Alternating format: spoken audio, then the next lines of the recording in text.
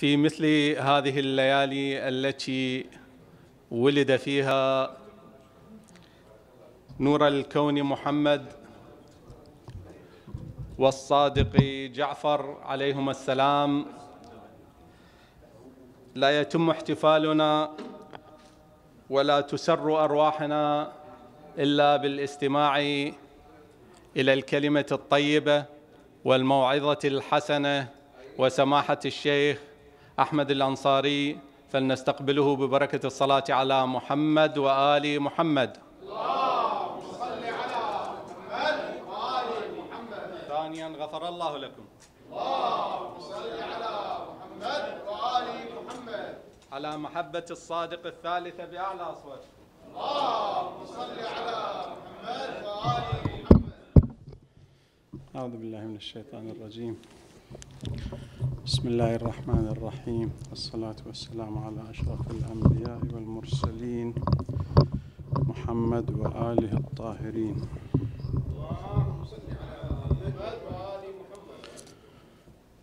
اللهم بفاطمة وأبيها وبعلها وبنيها والسر المستودع فيها.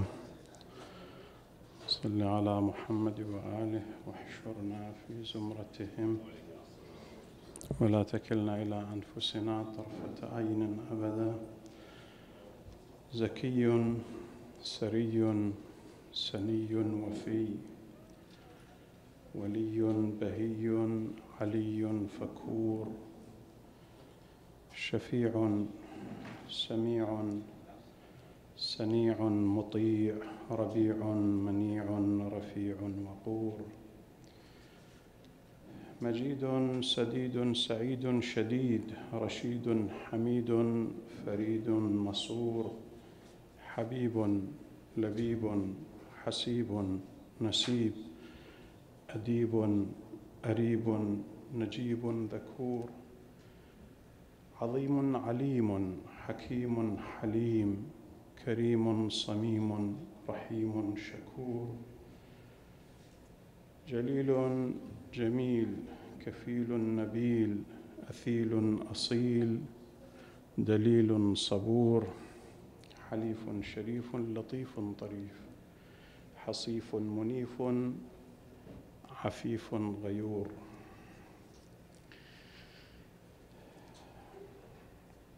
أبيات في صفاته صلى الله عليه وآله وسلم من السماء التي أنزلت هذه الصفات في إنسان ما عرف لا خلقه ولا خلقه ولا وجوده ولا مولده أحد. حينما نأتي إلى كلمة فقد طلع البدر علينا من ثنيات الوداع. وثنيات الوداع هي التي كانت إذا مر بها إنسان لم يخرج حيا. ومن دهته الدواهي ودخل إلى ثنيات الوداع فيعتبر ميتا لشؤمها ولسكون من يسيطر على الإنسان ما كان يعتقده العرب. فخرج حينما أتى إلى المدينة خرج من هذه الثنيات حيث أنه المصاب بالجنون وبالفقر وبالحاجة يقول ادخل ثنيات وداع خرج منها محمد فتشفى وتعافى ماذا نقول؟ على محمد وال محمد عن إنسان تقول فيه زوجته خديجة وهذا الإنسان حينما حرج به إلى السماء كل إنسان حينما يسافر له لقطة له بسمة له راحة له شدة له تعب. حينما يصل إلى أهله فيذكر منافع السفر ويذكر ما لاقاه من السفر ومحمد العظيم والرسول الكريم والنبأ العظيم. ماذا يقول؟ جئتكم. قالوا ما هدية سفرك إلى السماء ولقائك مع رب العلا؟ حيث وصل وصل قاب قوسين أو أدنى. قاب قوسين ليس بمعنى أنه طول القوس بل إنما لقال طول قوس قاب قوسين قاب قوسين. إذا وهذه ذكرناها سابقا إذا الفرسان تلاقوا وأراد أن أحدهما يهمس أو يتكلم كلام احترام فلا يكلمه من بعد بل إنما يحاذيه يدنو منه. فالفارس إذا جاء إلى الفارس وأراد أن يطالسه أن يسلم عليه أن يعبر ما في قلبه فرؤوس رأسي فرسيهما تختلفان هذا من هنا وهذا من هنا. بحيث أنه لو كان حاملين قوسين لاصطدم القوس قلب القوس بقلب القوس الآخر. أين محمد من ربه؟ فخذ هذا المثل. هل وصل إنسان؟ هل وصل رسول؟ هل وصل من الأنبياء أحد؟ إذا من هذا الذي تخلينا عنه؟ واليوم نرى في العراق ماذا يحدث؟ وفي إيران ماذا يحدث؟ وفي لبنان وفي الخليج وفي كل مكان. من هذا؟ كلما ابتعدتم عنا ابتعدتم عن أنفسكم. لهذا لما رجع فارق خديجة أربعين ليلة حتى منع من النظر إليها لأهانة أهانته إنا أعطيناك الكوثر. صاحب هذه الصورة سبب نزول هذه الصورة حينما قالوا أنه أبتر. فلما رجع دعا جاء قيل له احرف طريقك على أمك فاطمة بنت أسد. زوجة عمك أبي طالب. حيث لما ولد النبي في تلك الليلة لما ولد فكانت تأخذه. حتى ليلة الميلاد إيش عندنا عندها إحنا؟ ماذا نعرف عن ليلة الميلاد؟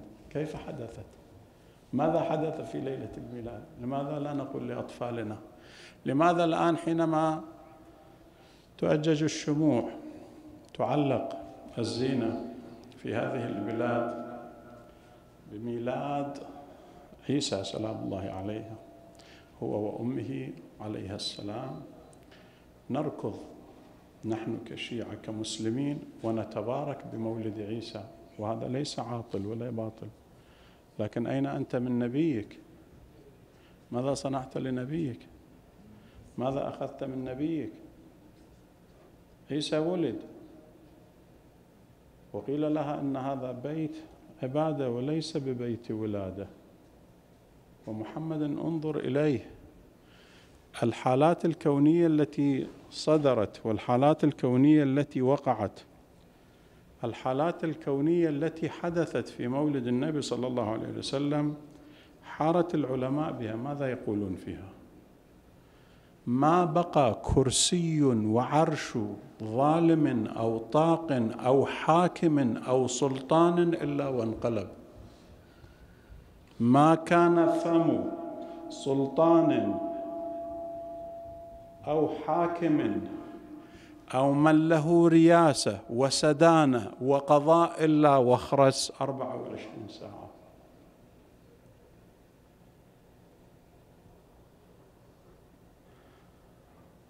تغور بحيرة ساوة.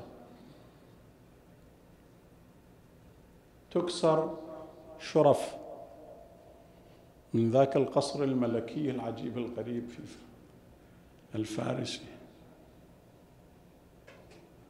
ايوان كسرى.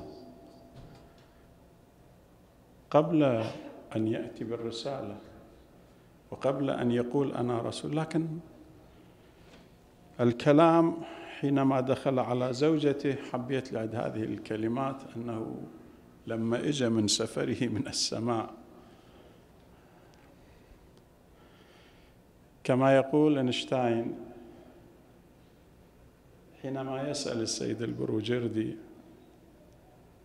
بواسطة الدكتور السحابي رحمة الله عليه الذي يقول حينما سئل كيف أنت وتعد أبو الفيزياء والكيمياء وملتزم بالصلاة وزيارة عاشوراء قال هكذا أدبتني أمي حينما ذهبنا إلى لبنان. فاتخذنا لبنان لأنه فيه شيء من الإسلام قبل قبل سبعين سنة وأكثر أقل. والشيء الآخر أن فيه لغات. فتعلمت اللغات العربية والفرنسية والإنجليزية والفارسية عندي ظهر الألمانية هم. فسألني أينشتاين هل أنه يوجد مما يؤيد نظريتي ما يسمى بالتشريع الإسلامي أو الشريعة الإسلامية. فإذا من الممكن أن تترجم هذه الرسالة لعد المرجع الوقت كان السيد البروجردي. فكتب للسيد البروجردي. بمجرد أن قرأها السيد البروجردي كتب له من دون ما يطالع ويروح يجيب له مشاورين منا ومنا قال نعم والرواية في بحار الأنوار في إسراء النبي وفي معراج النبي. يقول حينما مررت على حي من الأحياء فعلق طرفي بركوة من الماء أو بإبريق من الماء فانهدأ. مليان ما يقام. فذهبت وكلمت رب العزة ورجعت والماء بعد يسيل. وهذه النظرية التي قام بها أينشتاين حول مسألة السرعة إذا فاقت أكثر من اللازم يتوقف الزمان في توقف الزمان. فمن هذا؟ من هذا النبي الذي نتكلم عليه الذي لا يقدر يحل مسائل العراق؟ ولا ما يقدر يحل مسائل العالم؟ ولا لم ننتظر ولده الذي يبسط العدل في في الأرض التي هي منشأ الفساد؟ السماء لا يكون فساد ولا لقلنا في السماوات من هذا النبي؟ الذي حينما يأتي يبشر يبشر به أشرف الأنبياء أحلاهم أجملهم. من هذا؟ من الذي عرفه؟ عرفته واحدة. حينما تقول جاء الحبيب الذي أهواه من سفري. سفرتين مسافر بعمره كله سفرتين سافر. سفرة 12 سنة عمره أو 11 سنة عمر النبي صلى الله عليه وسلم. هل أنا لما سافرت 11 سنة عمري أبوي علمني بشيء من النبي؟ حيث يراه بحير الراهب يقول من هذا الشاب؟ من هذا الصبي؟ يجون الأهل. مثل ما يقول يجون أهل القافلة يجلسون وهو الوحيد الذي يبقى يرعى الإبل أو يرعى ما رمز أكو شيء بينه وبين عمه أبو طالب. يحدق فيهم فلم يرى مطلوبه. يحدق فيهم فلم ير جوابه. فيقول لهم هل بقى منكم أحد خارج الدير؟ يقولون لا.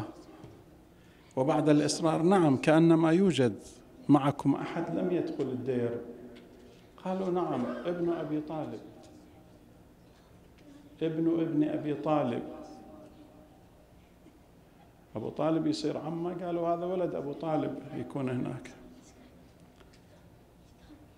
فشخصه ببصره واذا به ساجدا. يقول لمن هذا؟ أنت أبوه؟ قال لا. كيف تقول ولدي؟ قال لأن أبوه مات وهو في بطن أمه. عجيب قال إلى أين تريد به؟ قال في تجارتي. قال ارجع به. هذا لا يتاجر به هذا يخشى عليه. آمنة سلام الله عليها. آمنة. أمه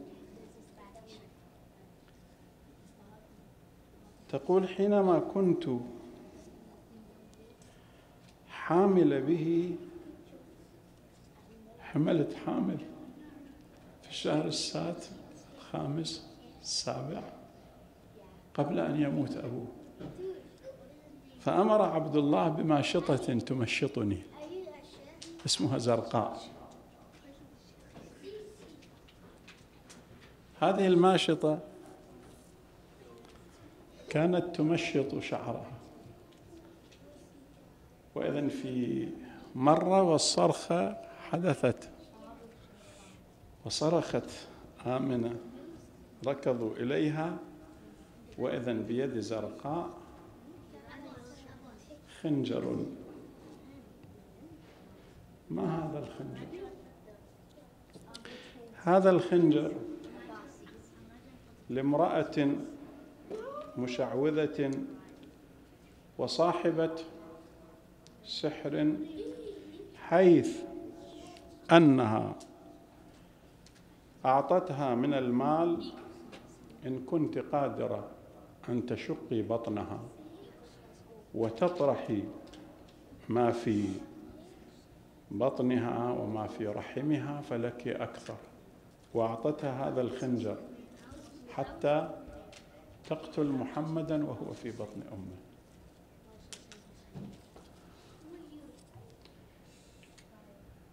فركضوا عليها وأقرت وذهبوا إلى تلك العجوز الخائبة التي أرادت قتل النبي صلى الله عليه وآله وسلم.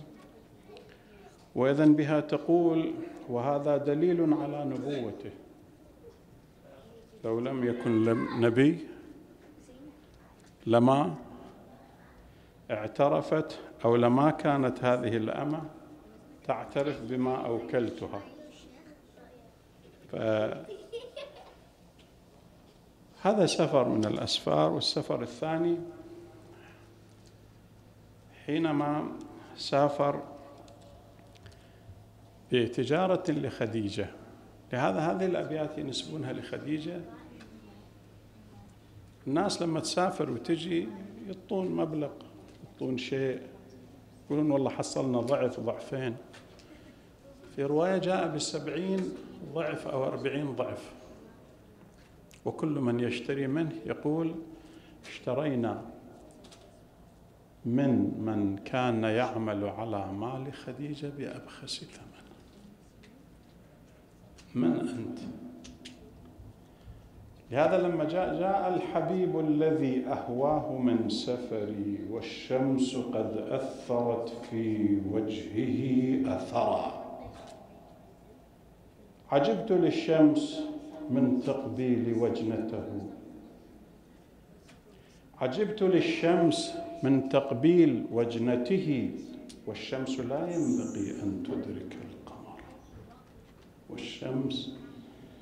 لا ينبغي أن تدرك القمر لواحي زليخا لو رأين جبينه. لواحي زليخا لو رأين جبينه. لأثرن بالقطع القلوب على الأيدي. مو البرتقال أو التفاح يقطعن لا. لأثرن بالقطع القلوب على الأيدي ولو سمعوا في مصر أوصاف وجهه. ولو سمعوا في مصر أوصاف وجهه لما بذلوا لما بذلوا في سوم يوسف من نقدي. من أنت؟ أبرهة جهز الناس أن يبنوا مما كان من بلقيس وعروشها وقصورها.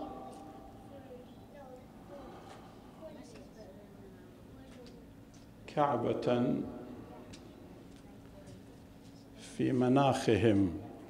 ويمنعون العرب من التجارة في موسم التجارة في حجهم. ولم يحج أحد. منعوا الناس ولم يحج أحد. ما باعوا بعض التجار ولم يأتي أحد إليهم. قالوا إذا ماذا نصنع؟ قال عليكم بهدم الكعبة. لهذا جاء بجميع ما يملك. ليش اجى يهدم الكعبة وش يريد من الكعبة؟ أم واحد سائل ليش العرب هم كانوا محاربين له وهو ما جاي يحارب العرب.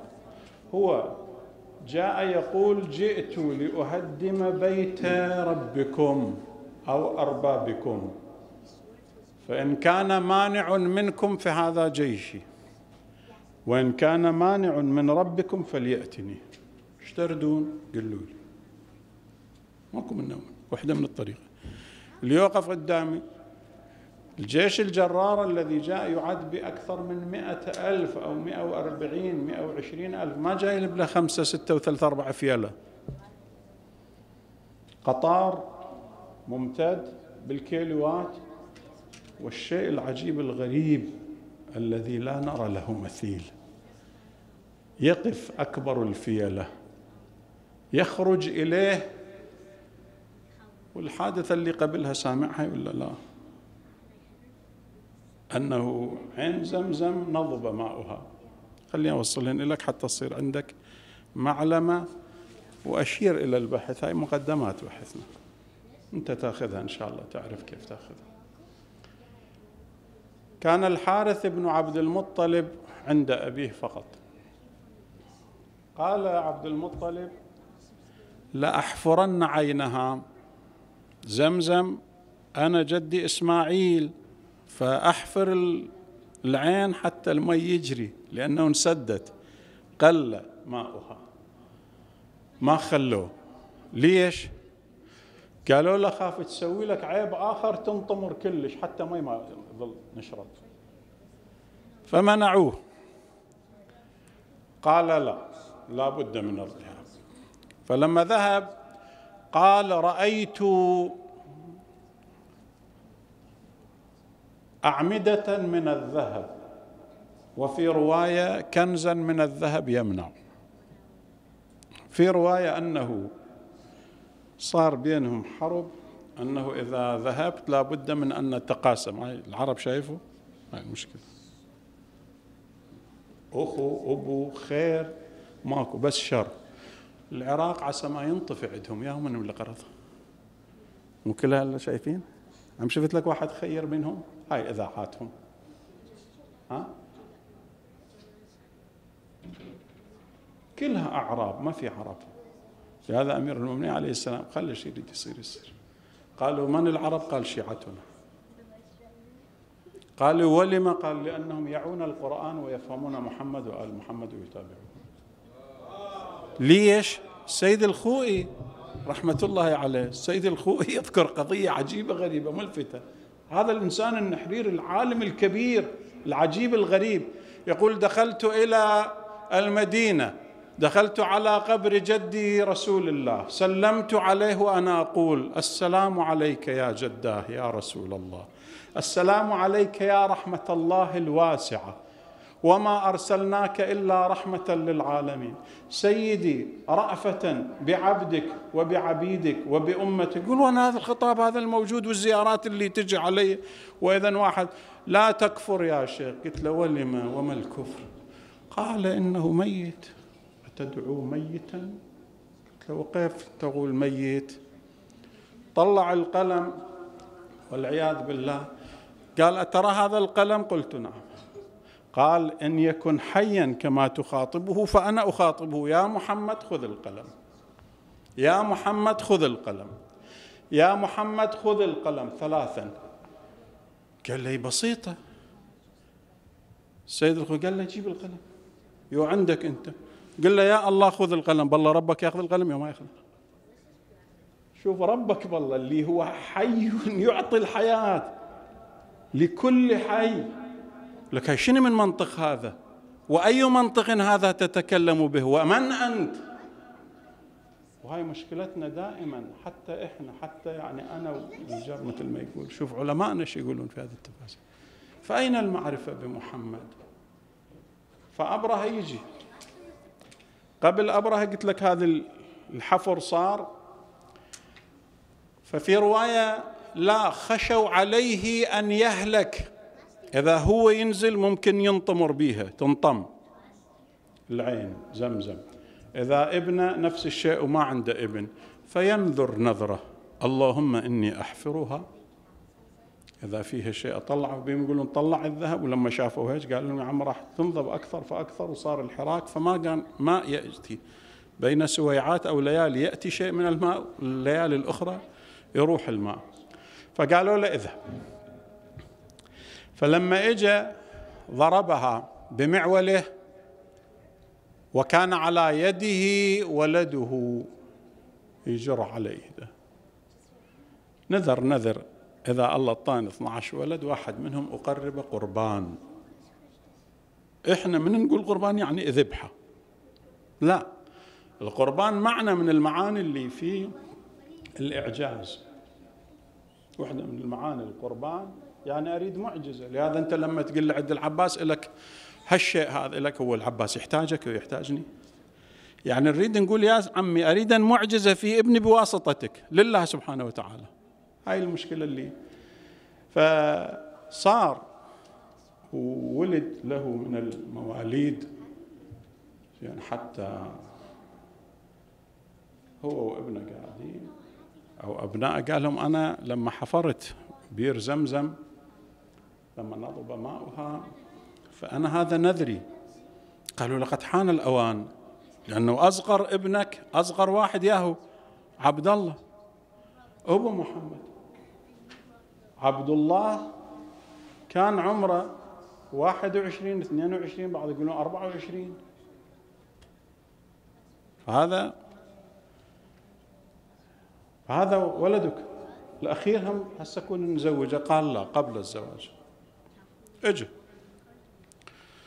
فلما جاء به صاحوا العرب أيذبح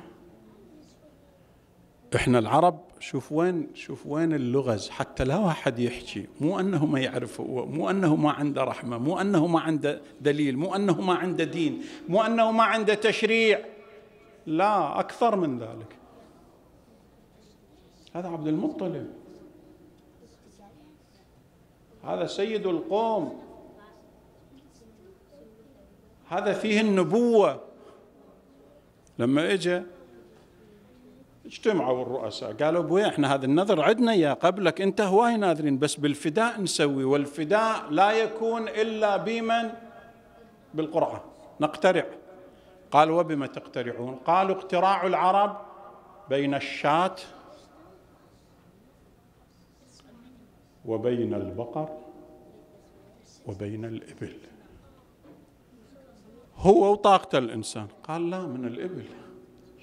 أفدي ابني بشاة ماكو شيء قطائع من الإبل بركت بالمئات بهم يقولون بالآلاف وأخذ يقترع. قال لهم حطوا ألف. قالوا له لا تخرب عادتنا علينا. خليها مثل ما إحنا عندنا وحدة وحدة وحدة باسم عبد الله اثنين باسم عبد الله ثلاثة أربعة خمسة وصلت للعشرة قال زيدوا عشرة لا تخلونا واحد وعشرين. زادوا عشرة نفس الشيء ثلاثين أربعين خمسين ستين سبعين ثمانين تسعين مية مية القرعة بالإبل. قال مرة ثانية اقترعوها مرة ثانية بالإبل. مرة ثالثة اقترعوها مرة ثالثة بالإبل أنه تنحر مئة نحيرة من الإبل. فداء لمن؟ لعبد الله.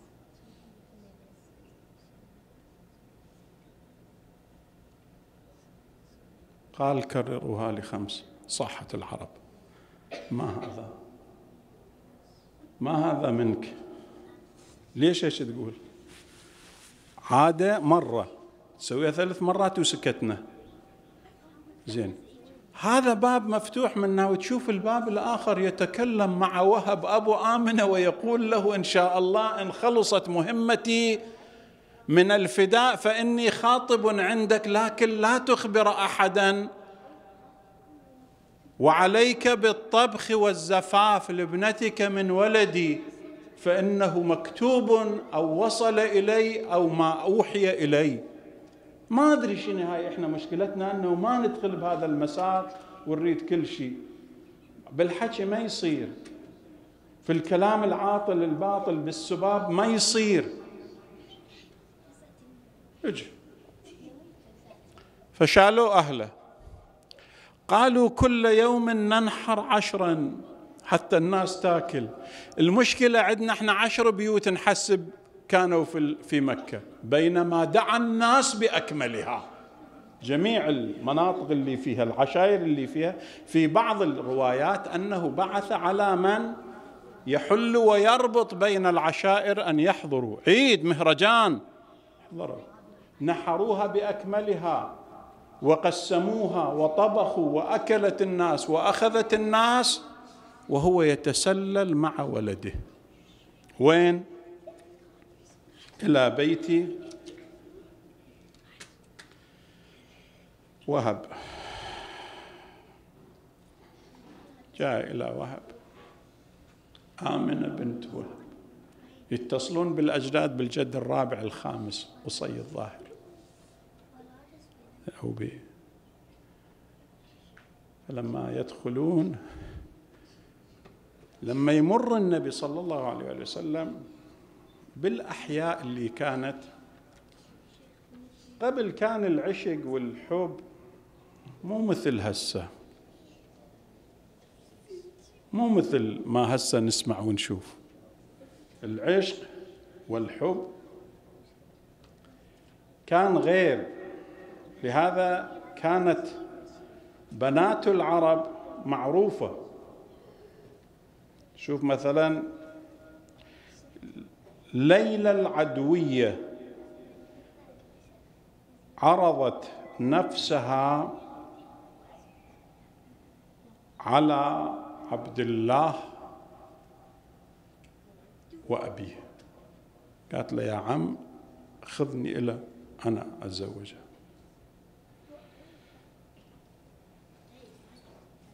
فاطمة بنت مر أيضا عرضت نفسها. أخت نوفل الأسدية عرضت نفسها. والرابعة آمنة. مو كل واحد يجي ويقول أنا أو كل بنت تقول أنا. لا لا دول اللي متشخصين ومر عليهم. فقيل لهن ما رأيت ما رأيكن فيه والذي رأيتن فيه. قلنا النور الذي في جبينه كل منهن يقول تقول يا ليته كان لنا لأنه حصة السماء. حصة السماء هذه. وإذا به يعدو وراء أبيه حتى دخل على بيت آمنة. تزوج آمنة سبعة أشهر ستة أشهر وهي تتكلم وتقول يا عبد الله إن الجنين الذي في بطني يؤنسني فما رأيت له صفة مما تصف أمي أو نساء عشيرتي مما في حملهن. فقال أعلم وإنه المبشر المبشر. هذا اللي عندنا من أبوه.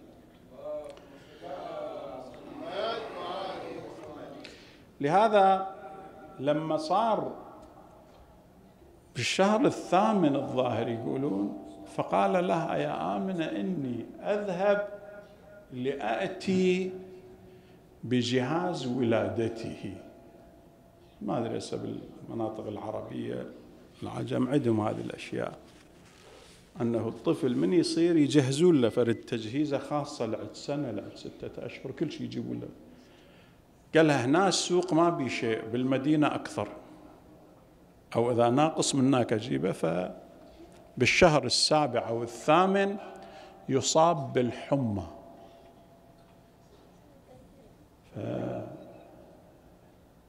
يفارق الحياة. وهي تبقى عند عمها وعند أبيها بحيث يقول لا يفارقها. عبد المطلب بعدما جرى عليها أنه تقتل أو شيء. زين. ف صارت حادثة أبرهة جاء بالإبل واقتحم الحجاز ودخل على مكة. بالنطح نطح الفيلة وبالتهديم وبنقل أحجار الكعبة إلى كعبته التي جهزها هناك. حتى لا يقولون ماكو كعبة يقولون حتى الجدران جبت معاكم الجيش كثير وكبير. ولما اجى من زاوية من زوايا مكة فكل شيء اللي كان عند الناس وعند العرب من المواشي من الكذا أخذها. من جملتها في رواية أخذ خمسين ألف أو خمسة آلاف خمسمائة ألف بهم يقولون مليون من الإبل التي كانت لعبد المطلب. إيش كثر ما ندري. هي بس خديجة كانت تملك بأملاكها بالملايين من الإبل. مليون نفر مليونين نفر بهم يقولون. ما نعرف. وإذا بعبد المطلب يخبره رعاة إبله. فيأتي. هذا مخيم قريب من الكعبة وكون اليوم بكرة كون يجهز حالة لهدمها. الناس فرت ما بقى منهم أحد في مكة. في البيوت لم يبقى أحد. فرت إلى البراري إلى الجبال. البيت الوحيد الذي كان يسكن ويسكن فيه أهله هو عبد المطلب بيت عبد المطلب وأولاده. من النسوة التي كن وحتى يقول بعض النسوة أبنائه أو بعض أبنائه أيضا هربوا أو قال خذوا أطفالكم واذهبوا. جاء إلى آمنة قالت لا والله يا أبتا يا عم أتركك. لا تترك. من معك؟ قالت فاطمة بنت أسد وأخي وابن عمي أبي طالب. عمران.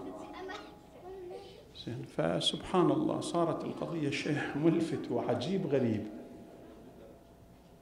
جاء إلى أبرهة في رواية وكانت تمشي من وراء عمها على بعد تخاف عليه حتى أنه وصلت الأمور قيل له يا أبرهة إن هذا شيخ العرب أو شيخ مكة يريد اللقاء بك. قال جاءني ليعفيني من هدم مكة. ماذا تريد؟ جئتني لتمنعني من هدم البيت لكي أعفو عن هدم بيت ربكم. إيش قال له؟ أنا رب الإبل وللبيت رب يحميه. كل رواياتنا اللي تذكر بالتاريخ اللي موزون يقولون لما سمعها ارتجف. قال ماذا تقول؟ قال لي إبل أخذتها جيوشك. أرجعني إياها. ما قال له لا ولا قال له. بس قال له فرجة قال ظننتك جئتني لتمنعني من هدم بيت ربكم. قال قلت لك أنا رب الإبل وللبيت رب يحميه أو يحفظه. بيش الله سوى؟ ألم تر كيف فعل ربك بأصحاب الفيل ألم يجعل كيدهم في تضليل؟ وأرسل عليهم طيرا أبابيل ترميهم بحجارة من سجيل بقد حبة العدس. لم يبق منهم لا فيل ولا كفيل. لم يبق منهم إلا واحد. هربا إلى وطنه. قال ما بكم؟ قال قتلنا أبدنا كنا راحت. ما ظل أحد. قالوا وكيف؟ قال جاءت إلينا طيور أبابيل. كل منها تحمل ثلاثا من الأحجار بمقدار العدسة. فإذا ضربت الإنسان أو الفيل تخرقه من رأسه إلى جوفه. بعد ما تخرقه ينتفخ فيتلاشى. شنه من سلاح؟ ما أدري. قالوا كيف هذا؟ يكون هذا؟ قال نعم مثل هذا الطائر. جاء عليه أسقط عليه واحدة ما ترأوه كيف ينتفخ. في تلك الليلة رواية عندنا روايات عندنا في تلك الليلة ولد النبي صلى الله عليه وآله وسلم. لهذا ولادته ولادته كانت تضاهي ولادة أو هجوم أهل الفيل على الكعبة التي أرادوا هدمها.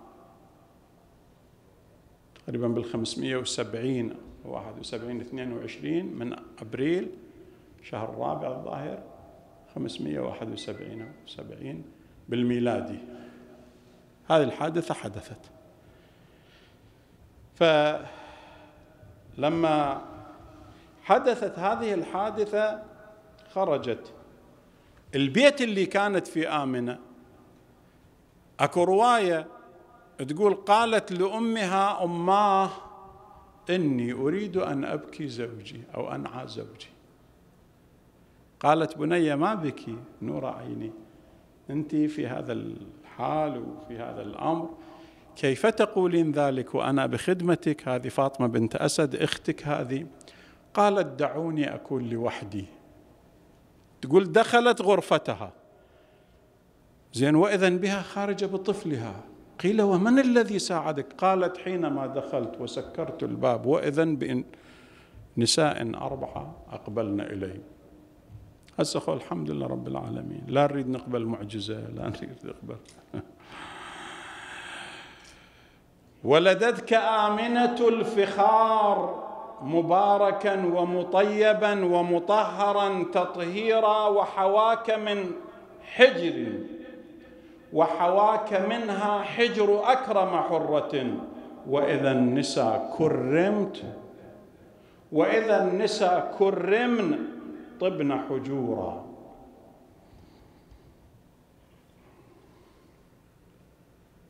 فجاءت به حتى أنه أخذته أو أخذه جده عبد المطلب.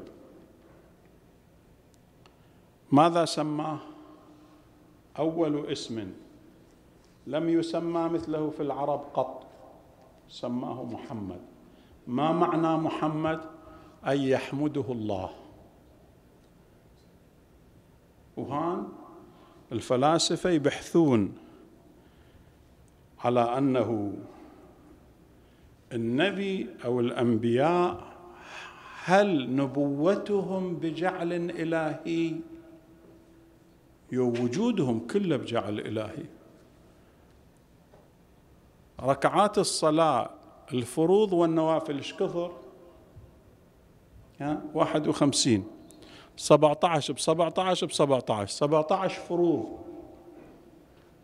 والسبعة عشرات الثنين الأخر عندنا إحنا شني نوافل. يقول وهكذا أجداد النبي سبعة عشر أنبياء سبعة عشر حكماء. سبعة عشر علماء.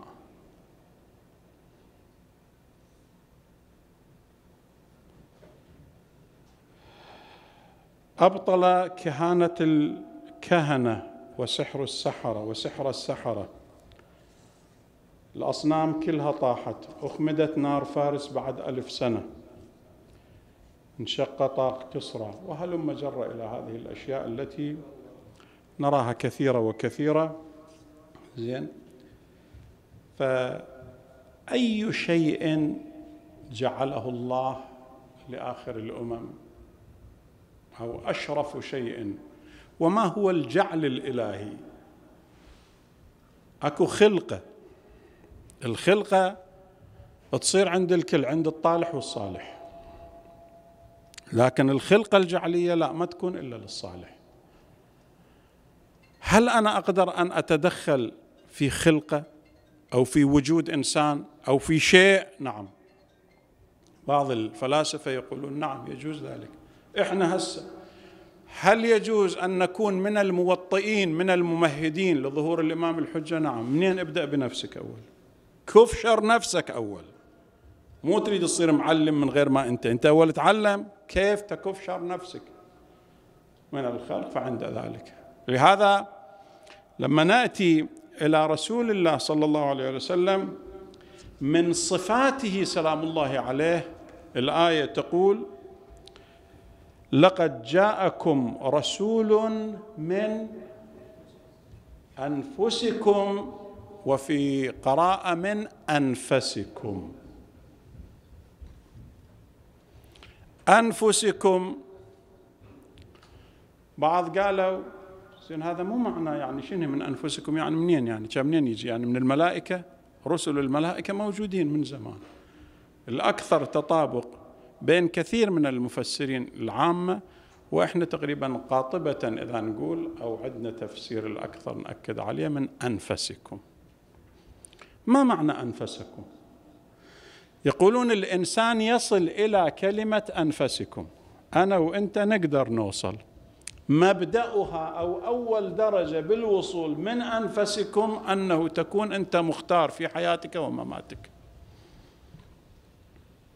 إذا الإنسان صارت عنده صفة الأنفسية صفة القدسية الأنفسية أول شيء يكون موته وحياته باختياره. منين هاي تقولها؟ تعال شوف السيدة الزهراء. ماذا تقول السيدة الزهراء؟ تقول لقد قبض رسول الله صلى الله عليه وآله قبض رأفة واختيار. الله قال له تريد تبغى؟ ما ينزل منك شيء. الحسين قيل له تبقى ما ينزل. أنت واصل. رسول الله قال لا أختار وأصطفي الموت بجوار ربي. يقولون منين هاي أخذها؟ هذه يأخذها من أنفسكم. الإنسان لما يصير نفيس لما يصير متكامل وهاي موجودة. إحنا هم نقول؟ بعض الأحيان تقول عند ابنك أفديك. بعض الأحيان تقول عند عائلتك أفديك من روحي بنفسي. هاي وين توصل؟ هاي توصل لعند نوع من ال... الوصول إلى الكماليات العائلية. مو إلا الكماليات ديك المعنوية الكماليات المعنوية تخليك بكل شيء. لهذا يقولون تقول السيدة الزهراء سلام الله عليها كان موته باختياره وما تسكت ومولده باختياره. وهذا اللي محير العالم. واحد يجيك من هذول أهل البعران ما يدري شو يقول وبالأسف الشديد إحنا مصفينا وياهم نصفك لك هذا محمد ما خلقت الأفلاك ما خلقت الخلق. كنت كنزا مخفيا أردت أن أعرف نفسي لخلقي فخلقت محمدا وآل محمد. صل على محمد. إذا هذا الجعل الذي جعله الله أو جعل به رب العزة نبيه النبي صلى الله عليه وسلم شوف وين يوصل الإنسان وين يخلي الإنسان يوصل إلى درجات وما في نبوة عندنا إلا بالجعل الإلهي والجعل الإلهي لا يأخذ إلا كما قيل في إبراهيم عليه السلام قال ومن ذريتي قال لا ينال عهد الظالمين. لا يصير عندك مشكلة أنه أمير المؤمنين وما أدري خلافة. عمي ما نغرض إحنا. ذول ناس مثل ما صدام كان رئيس العراق وما كان. هل كان على حق؟ هاي الرؤساء اللي تشوفها كل يوم. بس مو معنى أنه على حق. الذي على حق كن لم يكن. قال ومن ذريتي. قال لا ينال عهد الظالمين الظلم على النفس وعلى الخلق وعلى الله. يكون ماكو. فلهذا لما يصير الجعل الإلهي يكون جعل من فوق مو يجيب لك واحد يقول ومن صفاته الخليفة الثاني من صفاته فانظروا كيف كان مولده وكيف تلطف الله به حتى جعله خليفة. شنو أولها؟ ما تدري شيء وإذا تقول ما تقدر تستوعب من الإهانات اللي فيه. صفاك ربك واصطفاك نذيرا يا من بطلعته بطلعتك الوجود. أنير هي دفعة للنور من بحر السنة رحب الفضاء بها غدا مقمورة هي قبسة ممن تجلى نوره للطور. من سيناء فدك الطور وولد إمامنا صادق آل محمد. شريان العلوم. لما يجي النبي صلى الله عليه وسلم أول كلمة أول كلمة أول شيء لما صاح به من قبل الوحي اقرأ. باسم ربك الذي خلق. خلق الإنسان من علق. اقطع. اقرأ. وربك الأكرم الذي علم بالقلم. نون والقلم وما يسطرون هل رأيت نبيا جاء بالكتابة والقراءة والعلم كما جاء محمد؟ وهل عرفنا أولياء وأصفياء وخلفاء محمد؟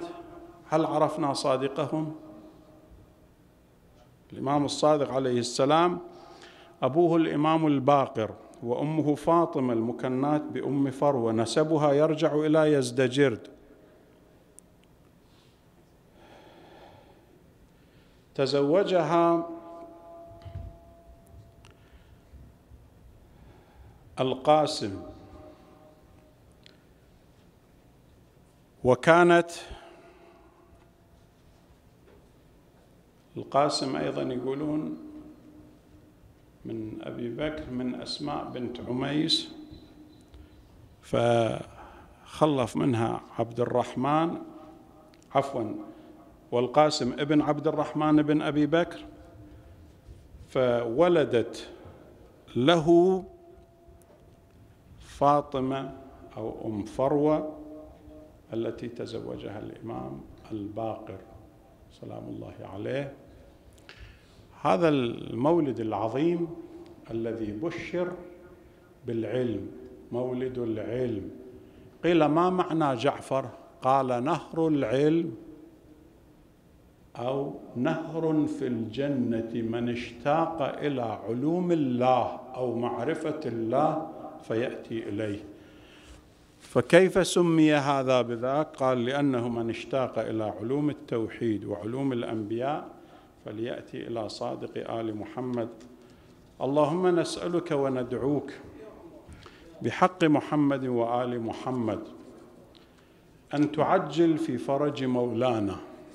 وأن تسهل علينا أمرنا وأمورنا بحق محمد وآله الطاهرين صلواتك عليهم أجمعين بفاطمة وأبيها وبعلها وبنيها والسر المستودع فيها. في كلمة حول الطعام الطيب.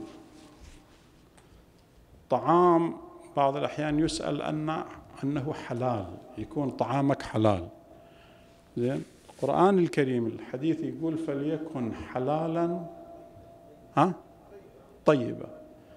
يقول إجت امرأة للنبي صلى الله عليه وسلم قالت سيدي يا رسول الله جئتك بمأدبة بطعام فوالله ما أخذته إلا من كد يميني وعرق جبيني وطبخته وجئت به إليك فإنه حلالا طيبا. قال لها لا حلال؟ نعم. لكن طيبة؟ لا. قالت ولم يا رسول الله؟ قال لأنك تأخرت عن صلاتك في طبخه. تأخرت في صلاتك عن طبخه فذهب الطيب. فبابا اليوم إحنا مبتلين بأوضاع عجيبة غريبة. من تريد تحكي انتبه. من تريد تدافع انتبه. أحسن كلام. أحسن شيء ارفع يدك إلى السماء وادعو. لا أنا ولا أنت. لا هاي الأحزاب ولا أحد. ما حد يقدر. لا يصحح العراق ولا يصحح غير مكان. لها صاحب يأتي. أين صاحب الطلعة الرشيدة والقرة الحميدة؟ أين صاحب من يكتمل البصر بنوره؟ لهذا نسأل الله سبحانه وتعالى إحنا شوية منغير. شوية نسأل سيرة النبي بوحدها أو سيرة الأئمة. الإمام الصادق يقول والله سيرتنا تسبيح الله. هاي تقول يمتن ولد يمتن فنسأل الله بحق محمد وآل محمد. اللهم أرنا الطلعة الرشيدة والغرة الحميدة واكحل نواظرنا بنظرة منا إلى عجل فرجه سهل مخرجه. أوسع منهجه. اجعلنا من أنصاره وأعوانه والذابين عنه والمستشهدين بين يديه. من له حاجة قلدنا الدعاء. شفاء مرضانا فك أسرانا. رفع الهم والغم عن عراقنا الجريح وبلداننا بأكملها. سائلين الله سبحانه وتعالى أن يمد في دعم شبابنا أهلنا عراقنا في هذه الأيام خاصة التوعية الكاملة تكون إن شاء الله وقمع وقطع كل أيدي نجسة ورجسة من هذه البلاد الطاهرة بلاد الحسين بلاد أمير المؤمنين عليه السلام وأن نكون على وعي محمدي ووعي إن شاء الله جعفري بالنبي وآله وننصف أنفسنا مما نراه في معرفتنا بنبينا وبقرآن الكريم. بالنبي وآله اللهم احفظ العراق بأهله بسكنه بمدافعيه بمن يريد الخير له بحق محمد وآله الطاهرين. الإخوة الحضور من له حاجة قلدنا الدعاء. بحق الحسين اللهم احفظ مقدساتنا خاصة في النجف في كربلاء في الكاظمين في سامراء في العراق في لبنان في إيران في أفغان في الخليج في الحرمين الشريفين. في كل مكان بالنبي وآله رحم الله من يقرأ الفاتحة مسبوقة بصلوات ثلاث على محمد وآل محمد.